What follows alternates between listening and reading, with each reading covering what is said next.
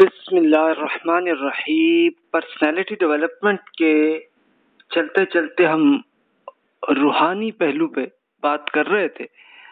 आज हमारा टॉपिक इंसानी हकूक की खिदमत, कि ये एक हमारी पर्सनालिटी डेवलपमेंट के अंदर ये बहुत हिस्सा आपको याद होगा, शुरू से ही हमने ये पूरा एक मैप बनाया हुआ था कि ये ये पर्सनालिटी के इन इन पहलुओं को हमें देखना है।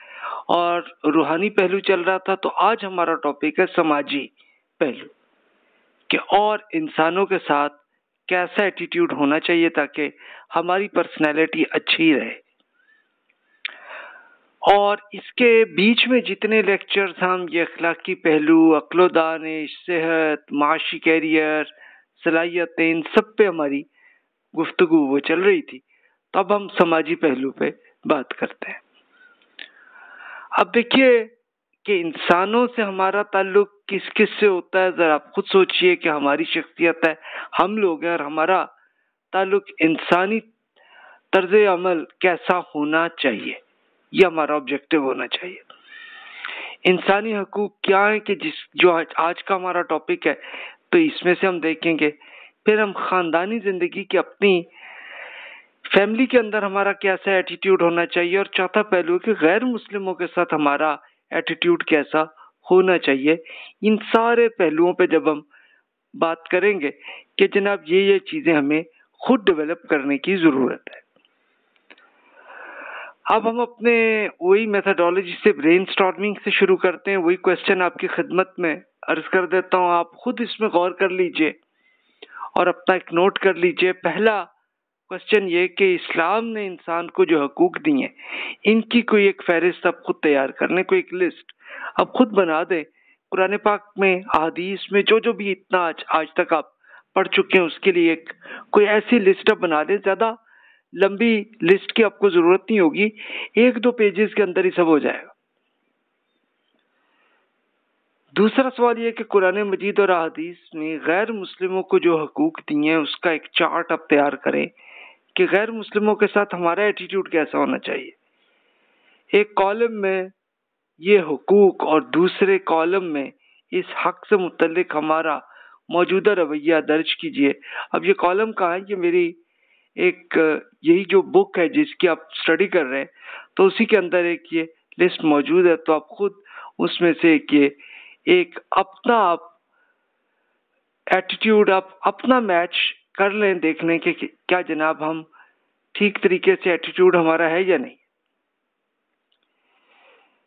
तीसरा क्वेश्चन है कि इंसानी हकूक से मुतलिक हमारे माशरों में दीन से जो इनहराफ पाया जाता है, इसकी कोई एक फहरिस्त तैयार करें।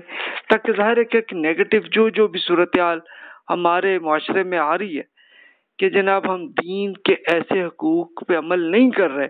तो उसकी एक लिस्ट हो इसका मकसद क्या होगा? ज़ाहिर है कि दूसरों को हम कुछ नहीं कर सकते, लेकिन हम एटलीस्ट अपने आप को हम इतना ठीक कर सकते हैं कि जनाब, कुरान और अदीस में जो हमें इर्शादात हैं, इंसानों के हकूक के, हम उस पर अमल कर रहे हैं कि नहीं कर रहे हैं? हम अमल कर लें तो दूसरे करें या ना करें, वो जाने उनका मामला, हमारा मामला, अल्लाह ताला के हुजूर है। फिर अल्लाह ताला उसका हमें रिज़ल्ट देगा। चौथा सवाल ये कि फ़र्ज़ कीजिए कि आप मुसलमान और एक मुस्लिम अक्सरियती माशरे में रहते हैं। रवैयों का एक फहरिस्त तैयार कीजिए और जो कुछ आपके, आपको अपने मज़हब या मसलक से इख्तलाफ रखने वाले अफराद के साथ रवा रखना चाहिए जैसे। तो एक, ऐसी भी एक, आप एक लिस्ट ये भी तैयार कर लीजिए कि जनाब हम एक मुस्लिम अक्सरियती माशरे में, जस्ट फॉर एग्जांपल पाकिस्तान में रह रहे हैं तो इसी में क्या एटीट्यूड अच्छा होना चाहिए और अपने मज़हब वालों के साथ क्या होना चाहिए और जो दूसरे मसलक के लोगों के, उनके साथ क्या एटीट्यूड होना चाहिए। बस आप एक लिस्ट बना लें तो आप ही अपनी, आपकी पर्सनालिटी डेवलपमेंट हो जाएगी। अच्छा सेम आप इसी तरह कर लें कि आप फ़र्ज़ करें कि आप किसी गैर मुस्लिम माशरे में, किसी यूरोप में या अमेरिका में रह रहे हैं। अब आप ये एक फहरिस्त तैयार करें कि जिसके तो आप गैर मुस्लिम अक्सरियत से रखते हैं। उनसे क्या एटीट्यूड होना चाहिए? और इन तो पर गैर मुस्लिमों के लिए हम पूरा उतरते भी हैं कि नहीं, कि उस पर अमल भी कर रहे हैं कि नहीं कर रहे ये भी आप इख्तियार कर लीजिए खुद एक। ये अब देखिए कि आप खुद कोशिश कर लेंगे तो उसी से आपकी पर्सनालिटी डेवलप हो जाएगी। अब छठा सवाल ये कि फ़र्ज़ कीजिए कि आप किसी हॉस्पिटल में बतौर डॉक्टर या एक कोई पैरामेडिकल स्टाफ या मुलाजिम आप हैं तो आप एक ऐसा रवैयों की एक फहरिस्त तैयार करें जिसके मुताबिक आप मरीजों से डील करेंगे। यानी कैसा होना चाहिए हमें। अगर आप खुद डॉक्टर हैं तो फिर तो आप ऑलरेडी पढ़ ही चुके होंगे अपने के डॉक्टर्स का एटीट्यूड कैसा होना चाहिए। तो अगर नहीं आप डॉक्टर या आप कहीं किसी हॉस्पिटल में आप नहीं, लेकिन आप रिज्यूम करें तो आपकी एक अपनी लिस्ट बन जाएगी कि जनाब इस तरह से हमारा एटीट्यूड होना चाहिए। फिर दस झूठ छोटी छोटी मेहरबानियाँ आप दर्ज कर लीजिए कि जिसमें आम गरीब शख्स भी एक दूसरे के साथ कर सकता है। चले, हम कहें, हम बहुत कोई बड़े आदमी नहीं है, हम कोई डॉक्टर नहीं है, कोई हम, कोई बहुत, कोई हम वज़ीर आज़म तो नहीं है, लेकिन एक फिर भी हम एक गरीब आदमी होते हुए भी हम लोगों की खिदमत क्या कर सकते हैं?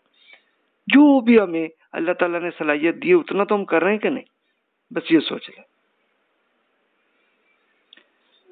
आठवां सवाल है, तौरात में बनी इसराइल को जो टेन कमांडमेंट्स दिए हैं तो इसमें कुरान मजीद में अब सूरा बनी इसराइल में दिए हुए हैं, सेम वही लिस्ट है। तो इसका आप जायजा लीजिए, ये असल में वही जो दूसरे इंसानों के साथ एटीट्यूड है, उसकी बात है। तो इनमें से हर एक से मुतलिक मौजूदा दौर के मुसलमानों की हालत क्या है? क्या हम उन्हीं टेन कमांडमेंट्स पे अमल कर रहे हैं कि नहीं कर रहे? कर रहे हैं तो अल्लाह का शुक्र अदा करें। और नहीं कर रहे तो भाई इसको हम अब डेवलप कर लें। हमारा इतना टाइम तो है ना? बाकी ज़िंदगी जितनी है, इसमें हम ये कर लें। तो चलो हम अल्लाह ताला के हुजूर कामयाब हो जाए। अब आइए हम आते हैं।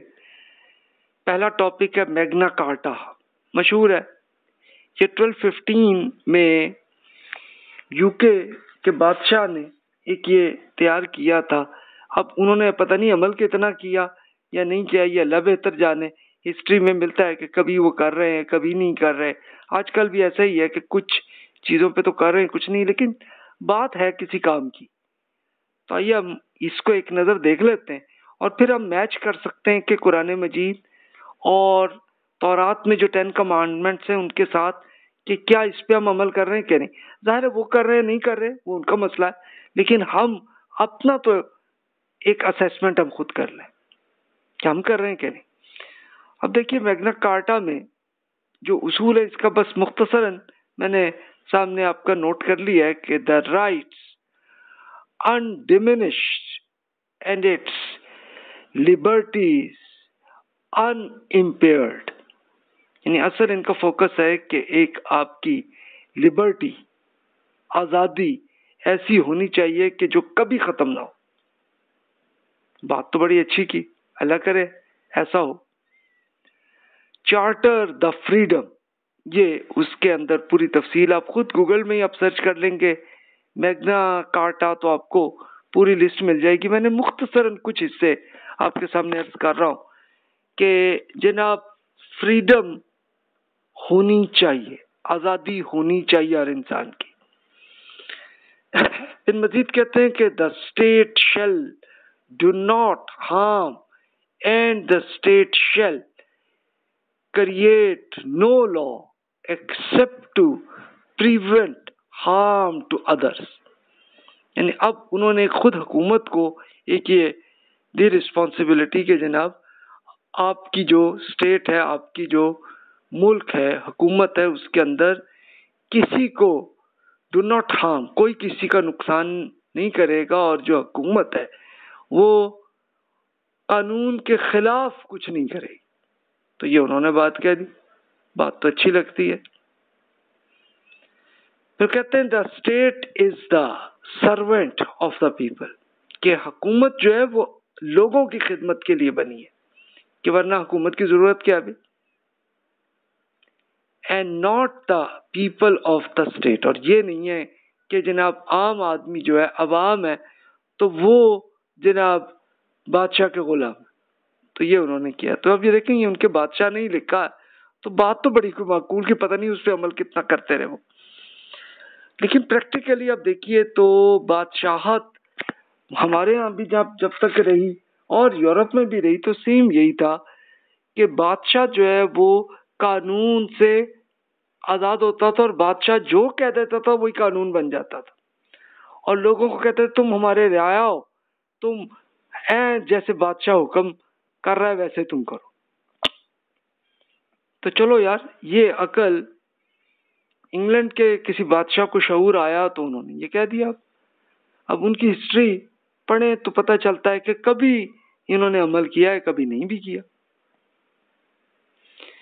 फिर मजीद वो कहते हैं the state is not above the law के हकूमत जो है वो की कानून से बाहर नहीं जाती, बल्कि एन उसके मुताबिक अमल करे। Same as the humblest citizen और खुद हुकूमत जो है उसको भी चाहिए कि बिल्कुल आजी के साथ एक अवाम के स्टेटस पर रहे। फिर आगे वो कहते हैं all are equal in the sight of the law the law applies to all regardless of position rank honour wealth race creed, color, or any other personal consideration तो वही वो कहते हैं कि जनाब आपका जो कानून है वो ऐसा होना चाहिए कि किसी इंसान में कोई फ़र्क ना हो चाहे उसकी कोई भी हैसियत हो पूरी, यानी अब ये ना हो कि वो जनाब कोई बादशाह या वज़ीर आज़म बन जाए तो जनाब उसका स्टेटस ज़्यादा बड़ा और आम आदमी का ना हो।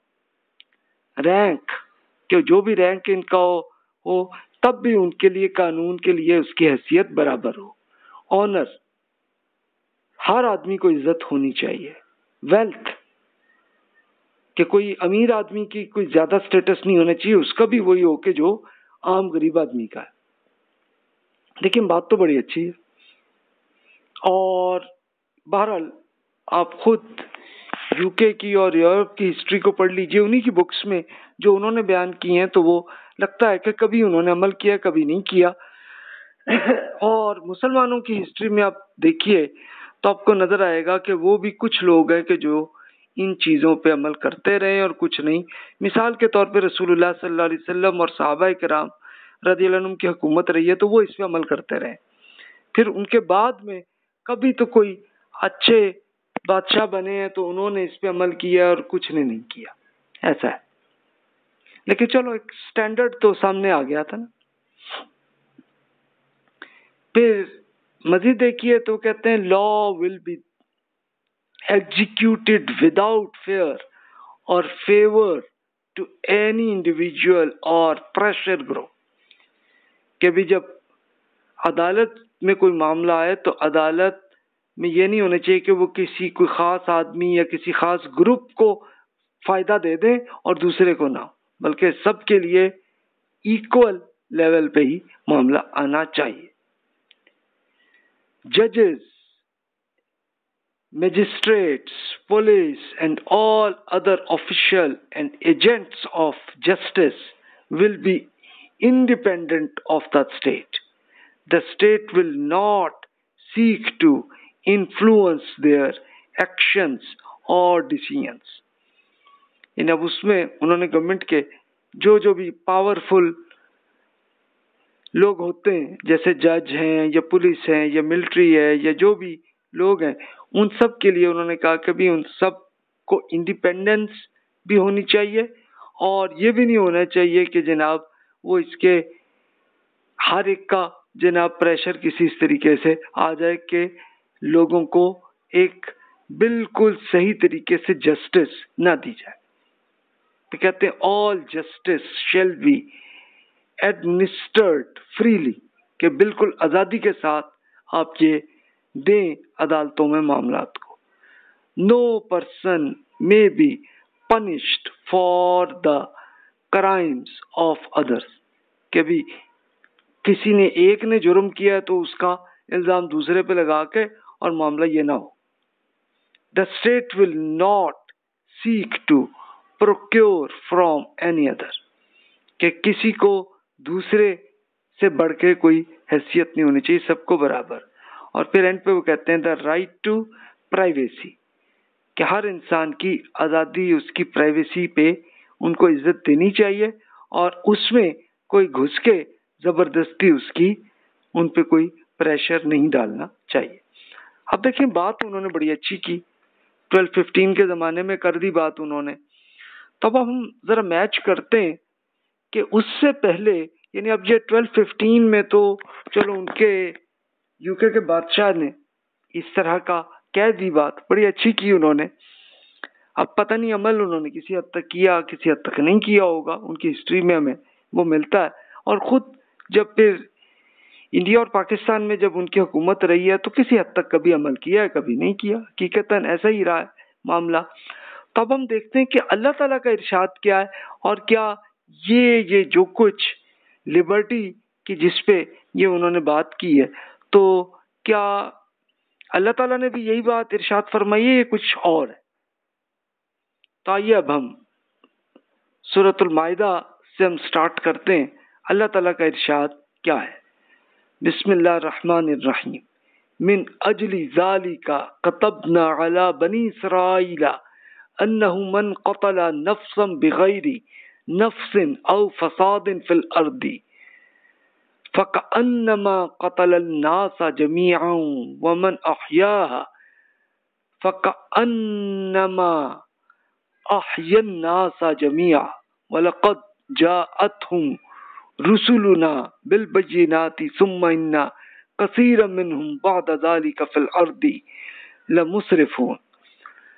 हमने इस्लाम को शरीयत दी यानी जो तौरात है तो इसमें बनी इसराइल पर अपना ये फरमान लिख दिया था कि जिसने किसी एक इंसान को कत्ल किया इसके बगैर कि इसने किसी और को कत्ल किया हो या ज़मीन में कोई फसाद बर्पा किया हो तो इसने गोया तमाम इंसानों को कत्ल कर दिया।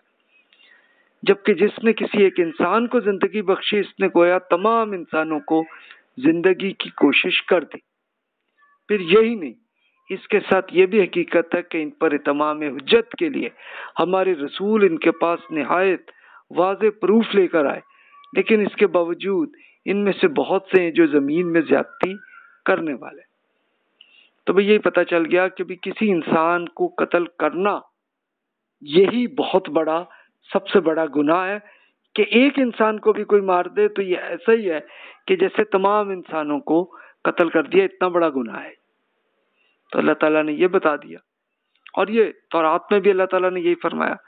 फिर फरमाया, ला तख्तुलती हर्रमल्लाहक किसी जान को हक, यानी कसास या फसाद की सजा के बगैर कत्ल ना करो, जिसे अल्लाह ताला ने हराम किया है। ये सूरतुल अनाम जो कि मक्की सूरत है। तो उसमें भी ये फरमा दिया कि अभी देखिए कि ये किसी को कत्ल नहीं करना एक्सेप्शन दे दी और वो भी आम आदमी को नहीं दी, बल्कि गवर्नमेंट की अदालत को इतनी दी है इजाज़त कि हाँ जी, अगर किसी आदमी ने किसी को कत्ल किया है या ज़मीन में फसाद किया है, कोई दहशत गर्दी या कोई स्नोयत का मामला किया है तो उनके लिए अदालत को इजाज़त है कि वो कत्ल करवा सकती है। बस, इतनी लिमिट कर दी। और रसूलुल्लाह सल्लल्लाहु अलैहि वसल्लम की आप सीरत को पढ़ लें साहब कराम रदी की हिस्ट्री को पढ़ लें, उन्होंने इसी पे अमल किया। और फिर बाद में मुख्तलिफ़ टाइम में कोई अच्छी हुकूमत रही है तो उसमें अच्छा ऐसा ही अमल रहा है और कुछ हुकूमतें ऐसी हैं कि जिनमें नहीं हुआ। तो हर तरह की चीज़ें आपको मिलेंगी हिस्ट्री में तो हर खातून की इसमत का एहतराम ये हम पर लाजिम है। कोई भी खातून हो, मुसलमान हो, गैर मुस्लिम हो, उनको हमें इज़्ज़त के साथ ही करना और उनको हमें कुछ तंग नहीं करना। हर साइल और महरूम का ये हक है इसकी मदद की जाए, ये हम पर लाजिम किया गया है कि हर वो शख्स जिसको कोई मसला है, कोई प्रॉब्लम है, हमने उनकी जितनी मुमकिन हो हमारे अंदर, हम खिदमत उनकी कर दें। हर इंसान का हक आज़ादी खुद अल्लाह ताला ने दे दी। किसी इवन बादशाह को भी ये इजाज़त नहीं है कि वो किसी को कत्ल करे। एक्सेप्शन बस इतनी दी है कि अगर एक आदमी ने कत्ल किया है तो बस उसी आदमी को ही हुकूमत कत्ल कर सकती है। बस इतनी लिमिट है। इससे ज़्यादा नहीं। मजीद देखते हैं कि जान, माल और आबरू को अल्लाह ताला ने किस तरह से उनकी एक इज़्ज़त दी हुई है। मजीद कुछ आयात आपके सामने रखता हूँ, इसको पूरी सूरत को आप शुरू से आखिर तक पढ़ लेंगे तो आपको पूरा एक सिनेरियो भी सामने आ जाएगा। फरमाया, वला यजरी मन्नकुम शनानु कौमिन अन तसुद्दूकुम अनिल मस्जिद हरामी अन तदू आपके लिए मस्जिद हराम का रास्ता, यानी मक्कम कर्मा के मुशरकिन के लिए। कुछ लोगों ने बंद कर दिया था तो इनके साथ इस बिना पर आपकी दुश्मनी भी आपको इतना मुश्तिल न कर दे कि आप हदूद से तजावुज करें।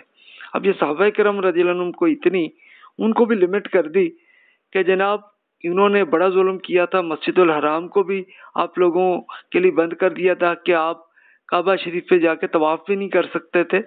आपको इतनी कर दी थी और साहब कराम को तो हिजरत करनी पड़ी थी, मक्का से निकलना पड़ा था। खुद रसूलुल्लाह सल्लल्लाहु अलैहि वसल्लम को निकलना पड़ा था वहाँ से। तो फरमाया कि वो ठीक है, ये दुश्मनी है आपकी, लेकिन इस पे इतना इश्तेहाल ऐसा ना हो कि आप हदूद के तजावुज करें कि अल्लाह ताला ने जितनी लिमिट पहले कर दी है, बस उससे ज़्यादा आप नहीं कर सकते। यानी साहब करम को भी इस पे रोका और रसूलुल्लाह सल्लल्लाहु अलैहि वसल्लम ने फिर जब मक्का मुकरमा फतह किया है तो किसी को कत्ल नहीं किया, सिर्फ़ चंद, कोई तीन चार बंदे ही थे कि जो मुसलसल फसाद कर रहे थे, बस उन्हीं को किया और बाकी किसी को नहीं।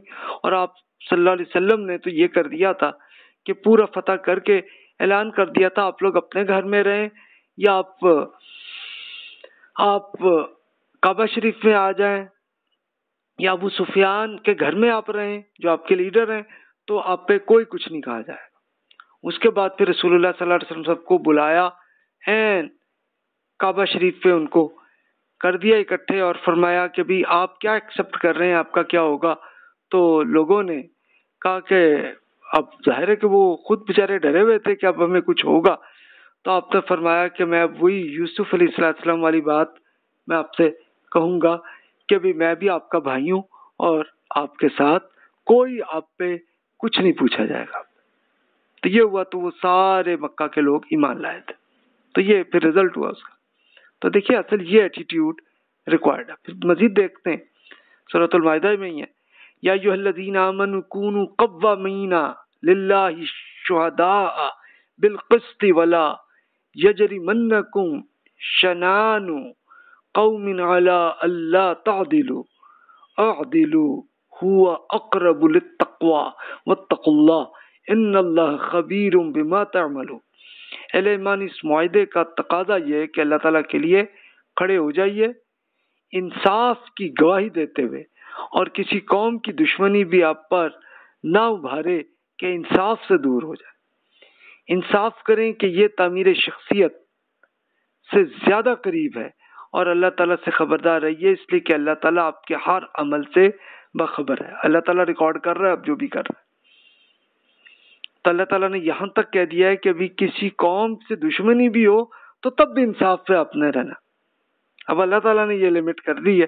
अब ठीक है, हमारी मर्ज़ी हम चाहें इसके खिलाफ अमल कर लें, लेकिन फिर जूते भी तो अल्लाह ताला से ही हमने खाने हैं, ये हम खुद सोच लें।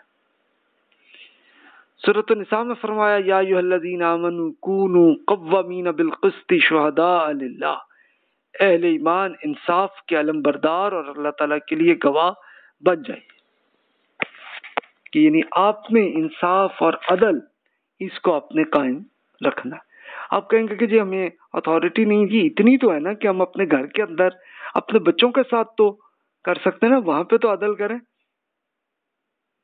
अपनी, आप अगर कंपनी में आपको कोई पोजीशन मिली हुई है तो आपको अपने, आपकी टीम पे तो है ना इतनी। तो बस उस पर तो अमल करें ना, बस यही हम पे रिस्पॉन्सिबिलिटी है। और फिर ठीक है कि जो हुकूमत में आके आपको इतनी लेवल पे मिल जाए तो फिर आपको पूरी कौम के लिए बन जाते स्टेटस आपका। तो इसी पे हमें कुरान मजीद का हुक्म है। अब दूसरे पहलू पे आते हैं, मुसावात, अदल और हकूक। ये देखिए कि ये आपने अभी जो मैग्ना कार्टा जो मैंने अर्ज़ किया था तो क्या लग रहा है कि कुरान मजीद के साथ वो लोग मैच कर रहे थे? कि कम अज कम बात जो की है वो वैसी है कि नहीं? अब आइए मजीद हम देखते हैं, इर्शाद हुआ। सूरतुल हुजरात में या युहन्नास इन्ना खलकनाकुम मिन ज़करिन व उनसा व जअलनाकुम शुऊबा व क़बाइल लितआरफू इन अक्रमकुम इन अलीम खबीर लोग एक दूसरे को भाई ख्याल ना करेंगे तो इन्हें बुराइयों में पड़े रहेंगे। इसलिए खूब समझ लीजिए कि हमने आपको एक मर्द और एक खातून से पैदा किया और आपको फैमिली और कबीलों में तकसीम कर दी है ताकि एक दूसरे को अलग अलग पहचान लें। हकीकत यह कि अल्लाह ताला के नज़दीक आप में से सबसे ज़्यादा इज़्ज़त वाला वो है, जो आप में से सबसे ज़्यादा नीक है। वो क़यामत में इसी बुनियाद पर फैसला करेगा, क्योंकि यकीनन अल्लाह ताला इल्म और इंफॉर्मेशन का मालिक वो अल्लाह है। अलीम खबीर का असल मतलब ये तब आप ज़रा खुद इमेजिन कर लें, यानी हमारे यहाँ हर कबीला दूसरे से या अपने एक उसको, अपनी फैमिली को बड़ी इज़्ज़त हम देते हैं, दूसरों को नहीं देते तो ये हम, इसके खिलाफ हम अमल कर रहे होते हैं। भी अगर हम कर रहे हैं तो आज तोबा कर लें। अल्लाह ताला के एन हुक्म के मुताबिक तमाम इंसान एक दूसरे के बराबर है।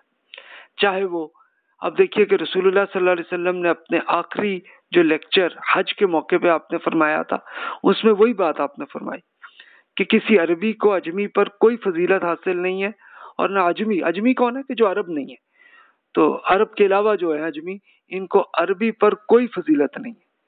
ना गोरे को काले पर और ना काले को गोरे पर कोई फजीलत है।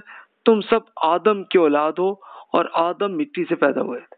क्या हम सब सारे इंसान हज़रत आदम इस्लामी की नस्ल है?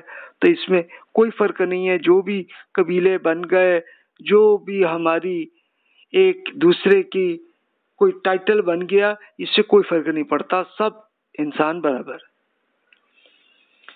इस सूरतुल मायदा में भी इरशाद हुआ व तावनु अलल बिर्रि व तकवा वला तावनु अलल इस्मी वल उदवान नेकी और परहेजगारी में ताउन करें, बदी और गुनाह के मामले में ताउन ना करें।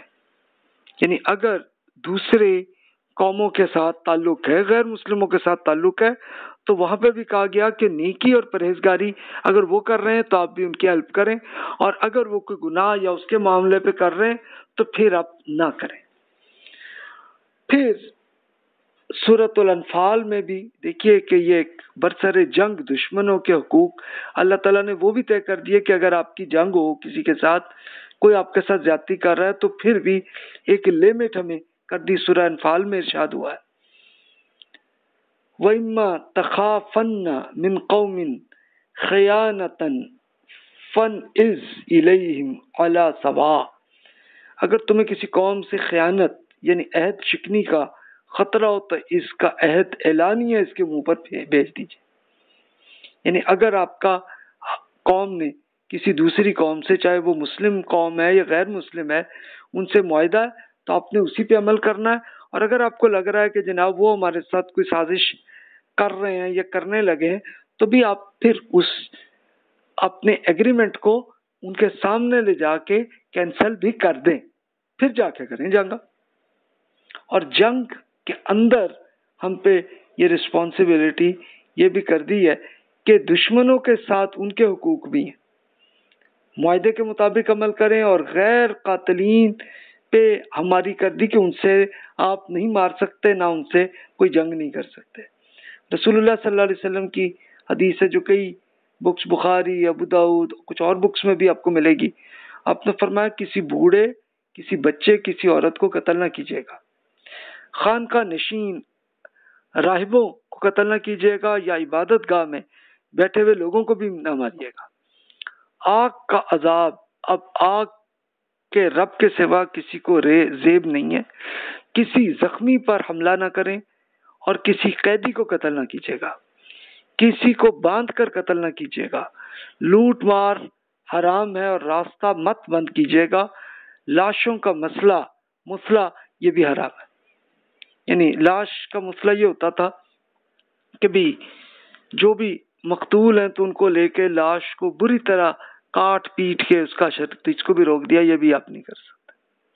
अब ये जिहाद के लिए साहब कराम जब निकल रहे थे तो उनको रसूलुल्लाह सल्लल्लाहु अलैहि वसल्लम ने बाकायदा ये ऐलान करके उनको बता दिया था, इस पर अमल करना है। यानी यहाँ तक आप ये सोचिए कि ये हमारे यहाँ और चीज़ों पर शायद हम अमल करते हो, इस पे नहीं करते कि रास्ते बंद कर देते हम लोग।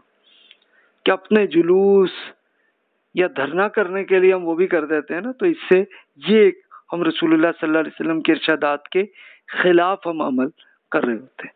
तो अब आप खुद मैच कर लीजिए, हम किस हद तक अमल कर रहे हैं और किस हद तक नहीं कर रहे। जान, माल और आज़ादी के लिए अल्लाह ताला के मजीद इर्शादा देखिए, उससे और चीज़ आपको क्लियर आ जाएगी। वो मई यकतुल मुमिनम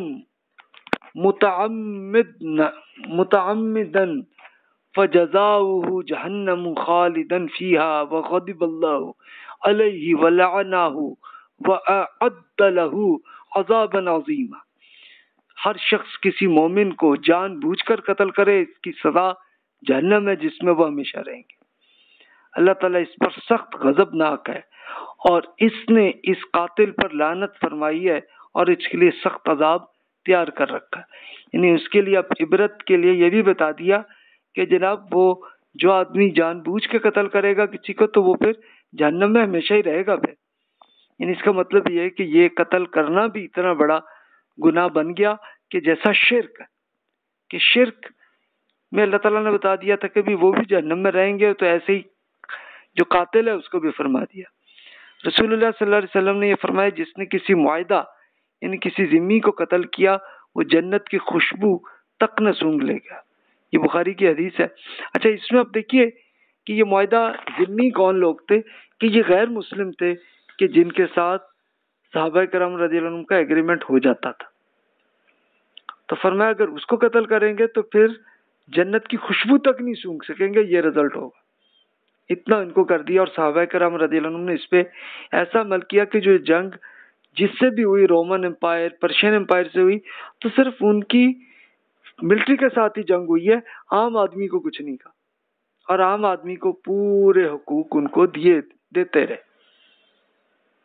ये हिस्ट्री में आप पढ़ चुके कि उमर रदी ने फिर ये भी किया था कि ये खुद रोमन एम्पायर की और पर्शियन एम्पायर की अपनी अपनी ज़मीनें थी तो वो हुकूमत ही के कंट्रोल में रखी। और उसमें वही गैर मुस्लिम जो इनके खेतों पे काम करते थे, उन्हीं को काम दिया कि भी आप ये करें प्लीज़ और ये फिफ्टी परसेंट आपको मिलेगा। फिफ्टी परसेंट ये गवर्नमेंट के फंड में आएगा ताकि आम आदमी की खिदमत तक वो पहुँच जाए। और वो करते थे। तो आप खुद इमेजिन करें कि ये असल बेस्ट प्रैक्टिसेस ये हैं पूरी इंसानों की। फिर फरमाया, फ़ाइन ताबू अकामसलात ज़क़ाता फ़ैखवानुकुम फिद्दीन कि अगर गैर मुस्लिम कुफर से तोबा कर लें, नमाज़ कायम करें और ज़क़़त दें तो वो तुम्हारे दीनी भाई और फिर प्रैक्टिकली यही हुआ कि रसूलुल्लाह सल्लल्लाहु अलैहि वसल्लम के सहाबा करम तो वो थे ना कि जो बड़े अरसे से आपसे पढ़ रहे थे। तो अब उनको हुकूमत मिली है तो उनको यही एक लिमिट कर दी कि जनाब और जितने लोग हैं, अगर बस वो कुफर का तोबा कर रहे हैं, नमाज़ पढ़ रहे हैं, जक़ात दे रहे हैं तो बस आपके स्टेटस लेवल पे यानी अब आप ये देखें कि एक आम आदमी का स्टेटस भी वही हो गया प्रैक्टिकली कि जो अबू बकर और उमर रदी का रहा। यानी सब बराबर।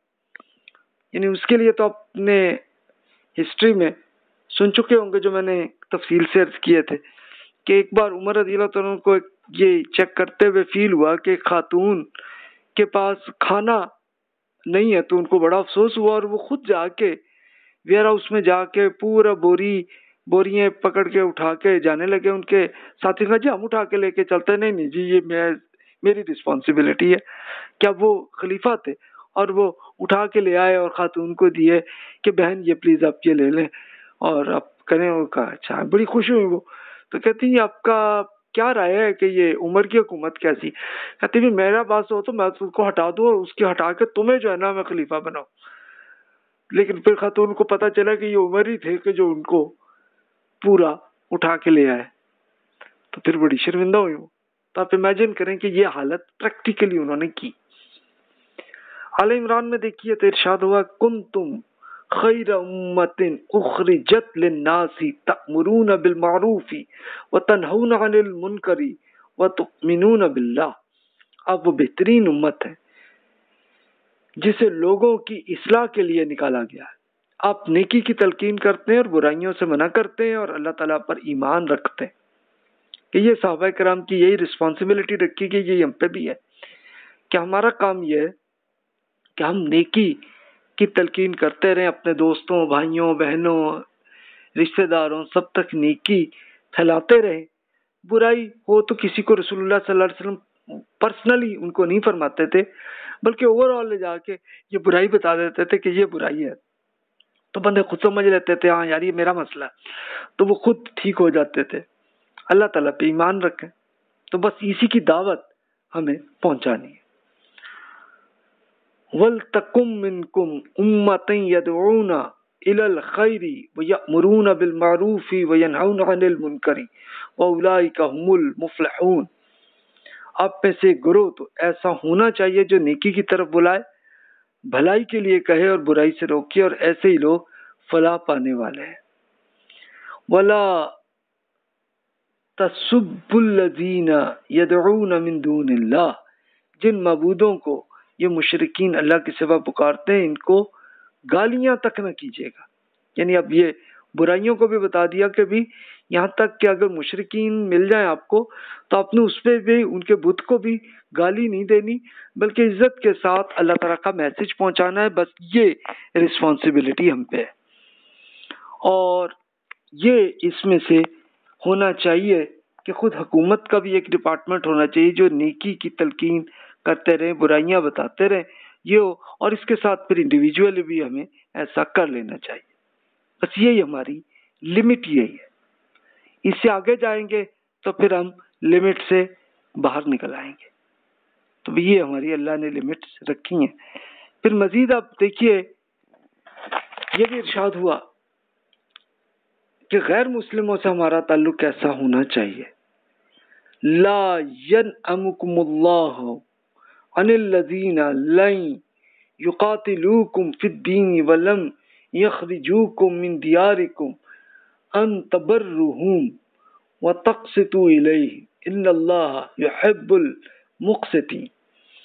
आपसे इस बात से नहीं रोकता कि आप इन लोगों के साथ भलाई और इंसाफ का बर्ताव करें।